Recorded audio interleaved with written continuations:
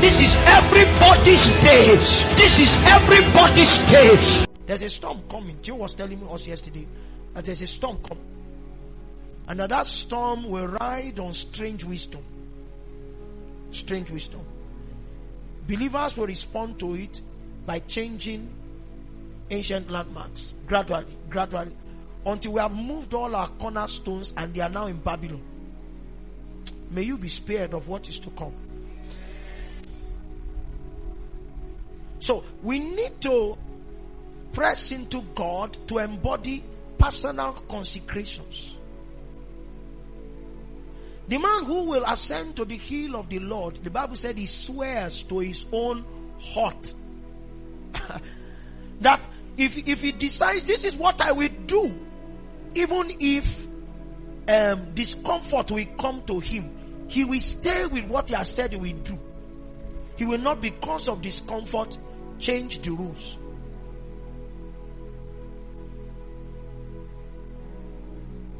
In a short while, we are going to pray, but I just wanted to give, to give you a picture. I know that there is a force textured attack that is supposed to come in our direction. But I know if we all rise and begin to pray, we can quench that one. Unfortunately, one of the last things corruption takes from a man is prayer. He can allow prayer. That a man is, is, is wicked, is evil, is sinful. But he does not quit the preaching, the teaching, and the prayer ministry. Sometimes the enemy leaves those things and he gives false reality so that the man cannot repent. These are my new bodies. So let's go gradually through the Word of God, and um, we trust God that will be helped. Give me back my scripture. Ephesians six ten. Finally, my brethren, be strong, not in yourselves, but in the Lord and in the power of his might. The strength of the believer, according to mechanical engineering definitions, the strength of a material is the ability of that material to is, is, is it is the word resist? Or to withstand a force that is gen- that a force that that's the way we say it. Um, I don't think it's the word withstand I'm using. Let me use the word resist indentation or deformation by the activity of an external force. That Victor, you are straight. And in the day a force comes to indent you, that's to, to create a cavity into you. You have the ability to stay no matter how hard that force is. So that there are times when you may not be making progress. Like I've said, one of the definitions of progress in the last days is that you could beat the waves of corruption your allegiance to Jesus did not suffer indentation or suffer deformation when forces came against you. And Paul is saying to the Ephesian church, and by extension to us, that you will need to be strong in the Lord. There is a hub of strength in the Lord. It's not easy to be strong in the Lord because every man wants to be able to testify that He created strength. But the ones who will survive, we need to look up to God and in Him alone will they find strength. Now, when you look to the Lord, within that sphere of His expression, there is also a facility that He gives to you.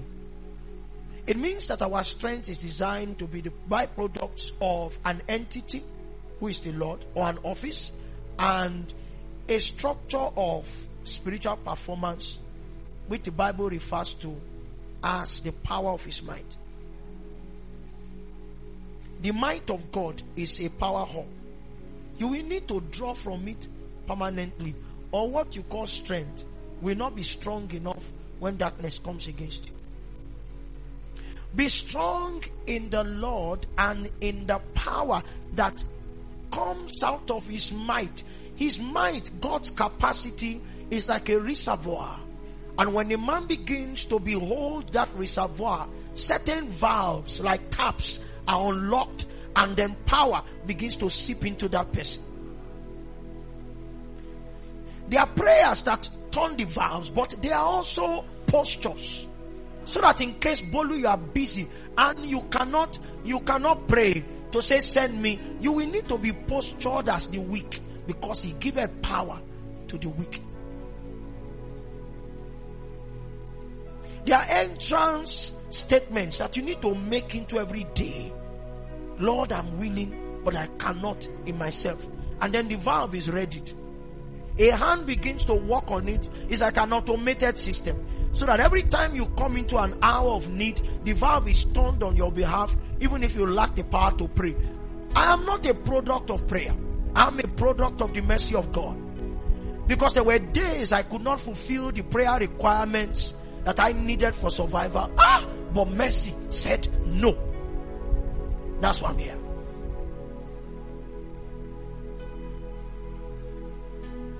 That's why I'm here.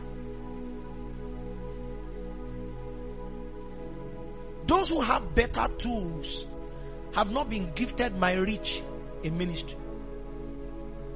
So it's not about better tools. It's not about older members. I, I was, tra- I traveled with my son and my daughter in the army and went with Pastor Racine this morning.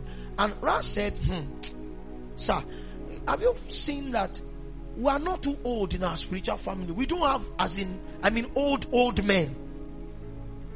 Even our spiritual father is in his 40s. But we don't look like young men. Certain vows have been occasioned by mercy and then we do business like ancient men.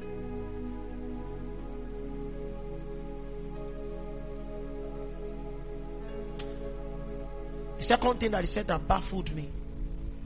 He said in our spiritual family, we are not like the regular setting.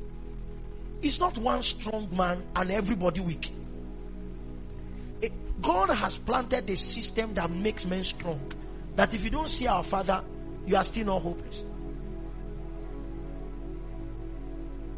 Can you whisper to your neighbor, be strong in the Lord? Some of you have not been able to testify to sustain strength so that on Monday you survived temptations, on Tuesday you beat corruption, but on Wednesday you became a victim. Be strong in the Lord and the power of his might. Next verse, I'm going to 13. Put on the whole armor of God that ye may be able to stand against the wiles of the devil. Watch this. Because you have been seated with Christ, which gives voice to the legalities of your redemption, the import of Jesus' sacrifice for you, and your acknowledgement that that sacrifice was about you. Because the guy who is not saved now is not seated with the Lord. Even though the price of his sin has been paid. Are you with me? So, it's, it's the import of two things. His sacrifices in satisfying the demands of the justice system of heaven and your acknowledgement that those sacrifices were about you.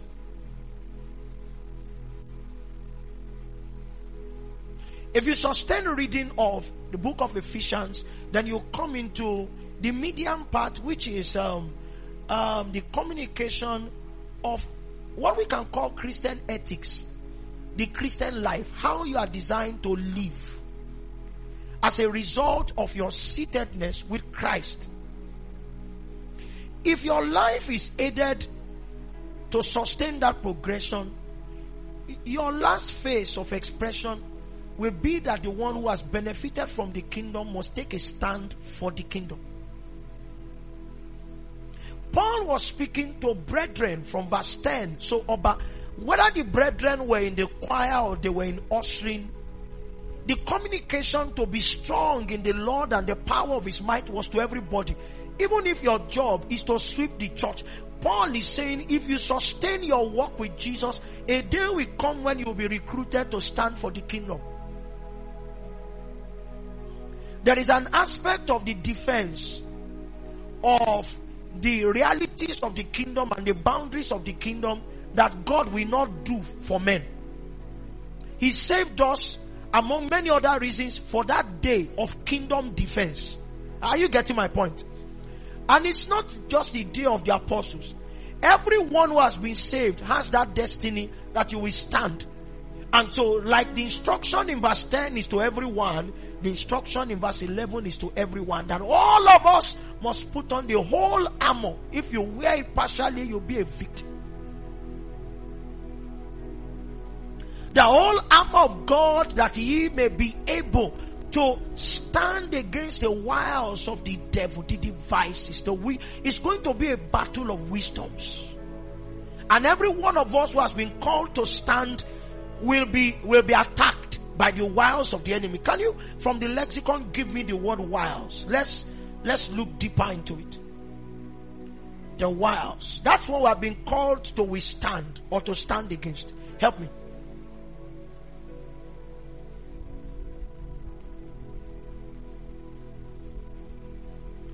I've not been able to fully unlock this tab, so I can't put any Bible on it. It's just my notes that can be there. You said?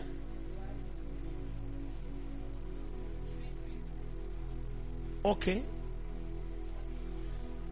Trickery. It means it's a wisdom thing. You know the word tricks. I put two sweets in my hands. I say choose one. There's a way I move the hands that in your mind you think you are following the pattern. So you say it's here, it's here, it's here. And then when I open it, you find out that I operated at a level of wisdom that I knew you could not. You see, I'll make it simple. If I do like this, you can focus, you follow it. But in doing like this, things could have exchanged, and then you say it's this one, and then you find out. Trickery, yes. Sir. Corny acts, not acts. What we have been raised to fight is witchcraft. We'll fight that one too. That one comes straight, but this one comes with an additional word. They are cunning. It means they are embedded or they are laced with wisdom. Any other word? Deceit. So there is a wisdom that we must embody. And what Paul did was to communicate the wisdom as instructions. That no matter how trickish the enemy is, no matter how corny he collides with you, are there any other words?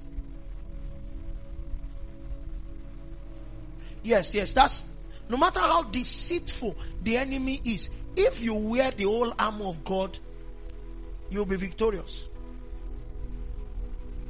Verse 12. For will, for we wrestle not against flesh and blood. Because it's a battle of wisdoms, the average believer who comes against the devil with human wisdom will fail. So you go to war not just with the mastery of your weapons, but having a good mental understanding of what your enemy is. Even in football, which is a natural sport, when you want to play a team, you send out like spies. What they go to do is to watch the matches of the enemy. They don't just watch, okay, how do they play? They look at the effect of pairing certain players. Okay, if you have, when they used the, the four, maybe four three three formation, how did this player play? Okay, it throws passes from that. How can we crack 43? And then in case they are playing against a very strong team, Eh, you can pack the balls. You can put six defenders. How did they play when they isolated one striker? How did they play when they had five defenders? they would go across multiple formations to check. The enemy knows how to pull down a praying church. He also knows how to win against a word based church.